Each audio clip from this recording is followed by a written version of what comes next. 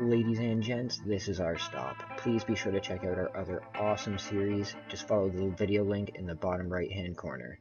Remember, if you like this video, please subscribe and hit the like button. And if you didn't enjoy the video, let us know in the comments. Have a great day, guys.